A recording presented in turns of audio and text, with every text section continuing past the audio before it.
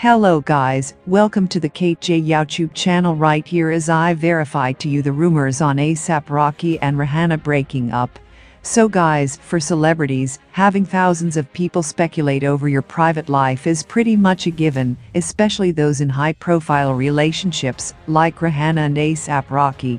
After rumors regarding a potential pregnancy for the singer, it was finally revealed at the start of the year that yes, the two are expecting a baby together. However, questions about their relationship have taken a turn, with claims circulating online that the two have split up. This is everything you need to know.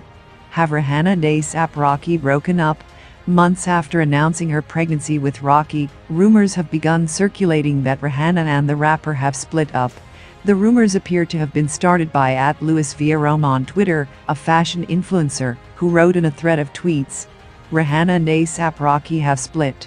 Rihanna broke up with him after she caught him cheating with shoe designer Amina Muaddi. Amina was responsible for designing Fenty's footwear offering, and Rihanna is often seen in custom shoes from her own label.